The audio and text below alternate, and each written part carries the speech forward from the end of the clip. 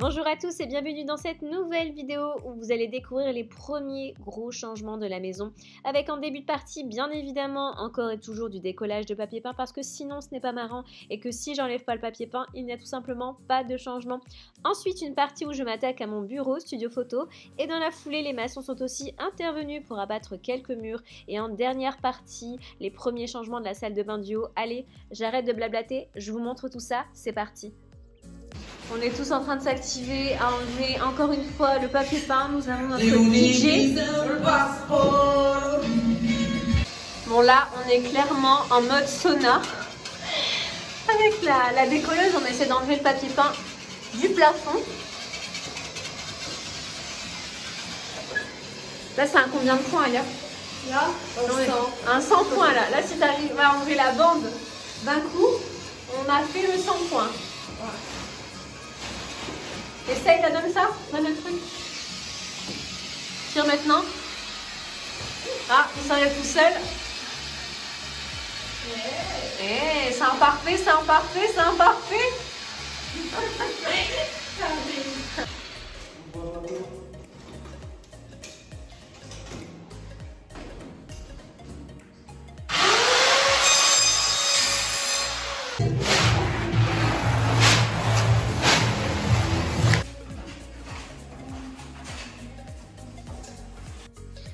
Bon les filles, j'en profite pour vous montrer le chantier de la salle de bain du haut. Je me suis levée très tôt ce matin pour peindre le plafond de cette salle de bain.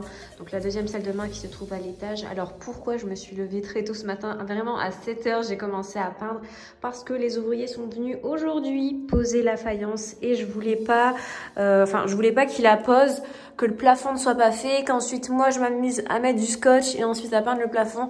J'ai peint le plafond ce matin comme ça je suis tranquille. De toute façon voilà des marcations, j'ai pas fait les murs les murs, je les ferai par la suite. Mais au moins le plafond comme ça, quand ils posent la faïence, donc là ils sont en train de la poser et qu'ils vont monter jusqu'en haut, j'aurai pas par la suite à mettre du scotch et, tout le tralala. Donc pour la deuxième salle de bain, donc celle du haut, on a choisi euh, côté douche uniquement une faïence en chevron noir mat de chez Cap Carrelage. Ça fera super beau, donc elle va aller de bas en haut et ça fera tout le mur là, même celui-ci, donc ça va se finir à ce mur là. Donc tout ça sera carrelé en chevron. Pour la déco, je vous en avais déjà parlé, ça sera une déco euh, noire. Euh, noire. Euh, pour les mitigeurs, la robinetterie, ça sera en laiton, en laiton un peu vieilli. Et pour les murs, je sais pas encore, peut-être blanc avec des moulures à voir. Mais en tout cas, je suis fan, mais vraiment fan du chevron noir mat. Je trouve ça magnifique. J'ai trop hâte de voir le rendu final. Et voilà, l'intégralité de la cuisine vient d'être cassée aujourd'hui par les ouvriers. On peut un peu se projeter dans le projet future cuisine, même si ça reste quand même compliqué. Alors, je vous explique. Avant ici, il y avait le placard. On avait un espèce de placard de cuisine, donc un caisson qui faisait ça. Donc, ce qui faisait que la cuisine, elle faisait plutôt petite, même très petite. Et donc nous, on a décidé d'agrandir cet espace-là. Donc il y avait les toilettes à ce niveau-là, donc au niveau du tuyau. Les toilettes, on les a décalées de l'autre côté du couloir pour avoir un espace plus grand pour la cuisine. Donc la future cuisine, ça va être sous forme de L, je vous l'avais euh, je vous l'avais montré. Donc ça fera des meubles là. Là aussi, ça va être fermé. Donc ça fera du coup ça de meubles, ça de meubles et au milieu, on aura un îlot central.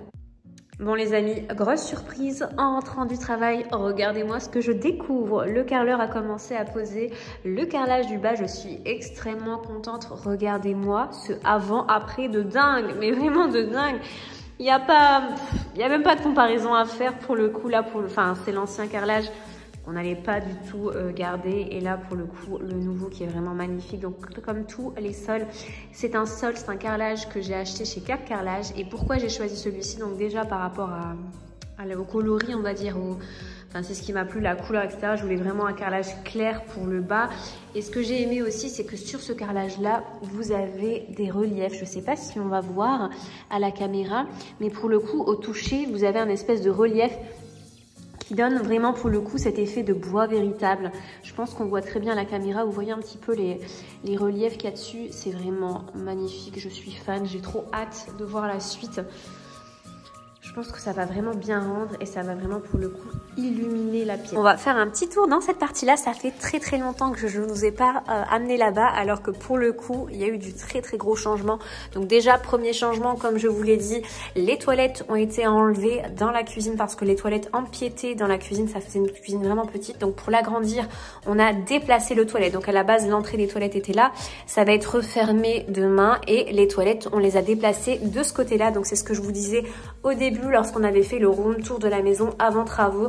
Les toilettes ont été déplacées de ce côté-là, donc on a divisé la salle de bain, à la base ici c'était la salle de bain, on l'a divisée en deux. Donc pour pouvoir faire une salle de bain parentale derrière et ici les toilettes des invités on va dire. Ici donc il y aura, bah, du coup là il y a les toilettes, là il y aura un petit coin d'eau. Donc pour le coup en termes d'espace les toilettes est vraiment grand contrairement à avant qui était vraiment plus petit et euh, je trouve que c'était la meilleure solution d'amener les toilettes ici. Déjà ici ça empiétait dans la cuisine donc ça réduisait à fond la cuisine et euh, ici, c'est idéal, il y aura un coin d'eau pour les invités, donc c'est top. Donc comme je vous l'ai dit aussi, lorsqu'on a fait le room tour, je vous expliquais que les deux chambres allaient, allaient faire enfin, faire plus qu'une seule chambre pour faire une suite parentale. Donc, ces choses faites, on a mis une entrée à ce niveau-là. Enfin, les ouvriers ont mis une, une entrée à ce niveau-là. On a aussi venu casser ce mur-là. Donc, ici, il y aura la chambre. Ici, le dressing. Donc, c'est encore en chantier. Hein, je vous montre, mais c'est pas, c'est loin d'être terminé, on va dire. Donc voilà, et de ce côté-là, on a la salle de bain privative, la salle de bain parentale, on va dire, pour le coup, dans cette partie-là. On a vraiment un coin lit, un dressing et une salle de bain. C'est vraiment ce que je voulais depuis très longtemps. Et voilà comment se présente la salle de bain parentale. Comme je vous l'ai dit, on est venu diviser en deux l'ancienne salle de bain. Je vous mettrai une photo avant de comment c'était ici. Vous pouvez aller aussi checker la vidéo avant travaux. Vous allez voir que le changement est quand même dingue. Donc là, à ce niveau-là, il y aura les lavabos. Là, j'ai demandé aux ouvriers de faire une petite niche assez sympa pour pouvoir mettre de la déco. Donc elle n'est pas profonde parce que pour le coup, pour... Euh, pour ne pas perdre trop d'espace, on a fait le muret euh, assez petit, enfin il fait 8 cm, donc c'est une taille, standard on va dire. Et la niche, voilà, elle se présente comme ceci. Et ce qui est bien dans cette salle de bain là, c'est que euh, les anciens propriétaires avaient fait une douche à l'italienne, donc tout est euh, à fleur du sol on va dire. Il n'y a pas de bac, il n'y a pas de, de bac de receveur. Donc on va garder le même principe, on va mettre un carrelage qui viendra se fondre et, et voilà, donc ça fait vraiment pour le coup une douche à l'italienne. Je vous montre aussi voilà, le petit coin d'eau, donc pareil, le carrelage vient de chez Cap Carrelage, je suis vraiment fan aussi. Donc c'est un carrelage, je voulais pour cette pièce-là quelque chose de très neutre, de très light. Donc j'ai opté pour ce carrelage-là. Donc il est de couleur, de couleur beige top, on va dire. Super beau. Donc pour, la, pour le côté euh, bain, on va dire, j'ai opté pour des grands carreaux. Je voulais vraiment faire de grands carreaux. Donc ça, c'est des 60 sur 120. Et pour le sol, euh, pour le sol, je ne pouvais pas mettre le même, euh, le même genre de carreau parce que ça ferait beaucoup trop de découpe et euh, c'est pas, ça va pas faire joli, ça va pas l'agrandir. Et on va mettre des 60 sur 60. Et sinon, côté salle de bain du haut, ça se peaufine, ça se termine doucement mais sûrement. Le carreleur a fini de poser le sol, il manque plus que les plaintes. Pour ce sol-là, on a choisi une nuance un peu plus chaude. Euh, c'est ce qu'on voulait avec mon chéri. Pour les salles de bain, on voulait vraiment créer deux univers différents. Donc celui-ci et l'autre en bas qui est plutôt dans les tons beige. Et euh, là, pour le coup, pour le sol, on a choisi une nuance beaucoup plus chaude que les autres carrelages, donc que celui du palier ou celui du bas. Là, pour le coup, on est vraiment sur un bois brut, on va dire, avec des nuances noires. Pourquoi on a choisi ce carrelage là Donc déjà parce qu'on l'aimait bien et on voulait une petite touche de noir pour faire un rappel de la faïence qui a été également posée euh, dans, la, dans la douche. Donc c'est un chevron noir mat. Je suis fan, mais vraiment fan de cette faïence là. Et pour la robinetterie, on a choisi euh, un mitigeur de couleur bronze. On voulait vraiment faire une salle de bain noir, bronze et blanc. Je suis fan de ce mitigeur là. Je vous mettrai euh, le lien en barre d'infos. Je l'ai acheté sur Mano Mano. Donc on est sur un style un peu rétro. Voilà, et de ce côté-là, alors on aura le meuble de, salle de bain. Je vais aller le chercher demain à Ikea et on va le poser ce week-end avec mon chéri. Donc il sera juste ici avec deux, euh, deux lavabos, deux vasques. Et j'ai également reçu ces mitigeurs-là que je vais vous montrer. Pareil, je les ai commandés sur Mano Mano, dans le même style que le mitigeur de la douche. On voulait vraiment quelque chose d'assez sympa, d'assez rétro. Alors, il se présente comme ceci. J'aime trop, ça va vraiment bien rendre. J'ai trop hâte de voir cette salle de bain terminée. Voilà pour le mitigeur, pareil. Je vous mettrai pour les intéresser le lien en barre d'infos. De ce côté-là, on aura le meuble et de ce côté-là, on aura les toilettes. Pourquoi on a fait un petit muret? Parce qu'on voulait euh, séparer euh, les meubles des toilettes. Je trouve que c'est d'autant, enfin, c'est toujours sympa de séparer les deux. Et, euh, et puis voilà, on s'est fait un petit kiff, on voulait un petit muret et c'est chose faite. Je me demande même si... Euh, je sais pas encore, mais j'aimerais bien peut-être faire une espèce de petite claustra à ce niveau-là. Vous savez, mettre des, des, espèces de barres en bois que je viendrai peindre en noir pour vraiment rajouter une petite, enfin, pour vraiment rajouter une petite touche à cette pièce. Mais j'hésite encore, je sais pas encore. Déjà, on va, on va laisser ça comme ça et par la suite, lorsque tout sera terminé, tout sera posé, je viendrai me décider. Mais j'aimerais bien une petite claustra en bois, ça ferait, euh, je pense que ça ferait sympa. Bon ça y est les filles, nous sommes à Ikea, je vous embarque avec moi pour aller récupérer le meuble de la salle de bain du haut. C'est parti alors, premier arrêt euh, au stand miroir. J'ai pris celui-ci pour la salle de bain avec un contour noir. Il est vachement sympa. J'espère que ça va aller au niveau des dimensions. Je vous montre celui-ci pour la référence. Il s'agit euh, de celui-ci et il est au prix de 25 euros.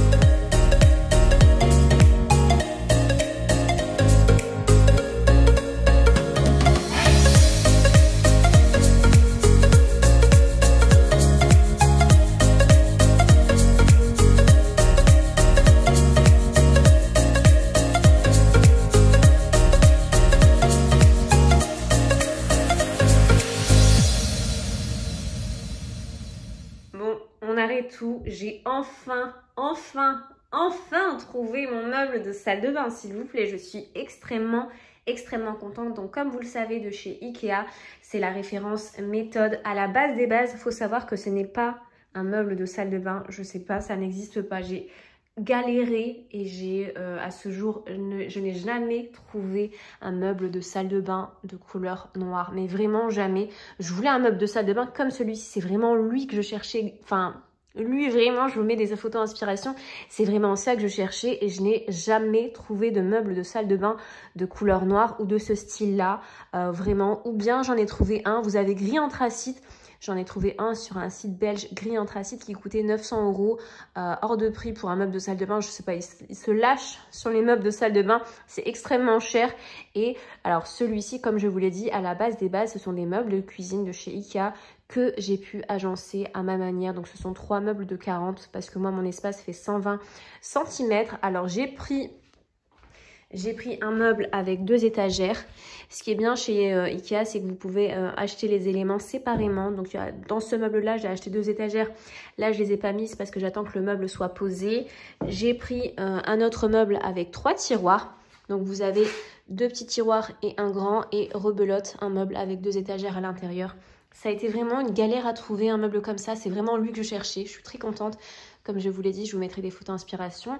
Là, j'attends juste les petites poignées en bronze.